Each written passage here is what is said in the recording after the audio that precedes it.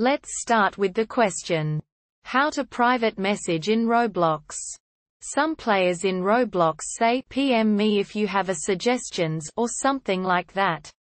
I was wondering if anybody could tell me how to private message in Roblox. So how can we solve this? There are two possible answers. Answer 1. From the Roblox support page, how to send messages to other players if you are not already friends with the person that you would like to communicate with. You can still send them messages as long as you and they have allowed this in their privacy settings. To find them, type their username into the search bar at the top of the screen and choose the search username in people option in the set of choices that will pop up. Click on their name in the list of search results and it will take you to their profile where you can click their message button. Answer 2. It's very easy. There are two options, depending on whether the user you'd like to contact has SafeChat or not.